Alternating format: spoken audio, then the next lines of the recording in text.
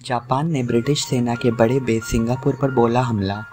द्वितीय विश्व युद्ध के दौरान आज ही उन्नीस सौ बयालीस में जापान ने ब्रिटिश सेना के बड़े बेस सिंगापुर पर हमला किया। 15 फरवरी तक चली लड़ाई में ब्रिटिश सेना बुरी तरह पराजित हुई।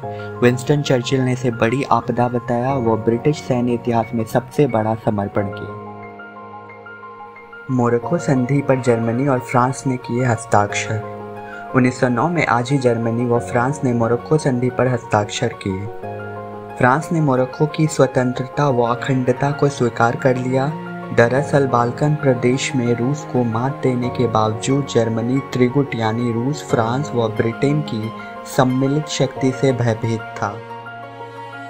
मशहूर गज़ल गायक व उम्दा संगीत निर्देशक जगजीत सिंह।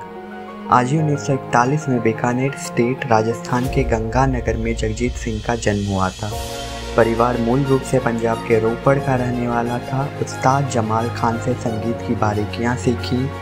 उन्नीस सौ पैंसठ में मुंबई पहुँचे। प्रेम गीत उन्नीस व अर्थ उन्नीस के हिट गानों ने काफ़ी प्रसिद्धि दिलाई। दर्जनों फ़िल्मों के गाने लिखे, गाए व संगीत निर्देशन किया।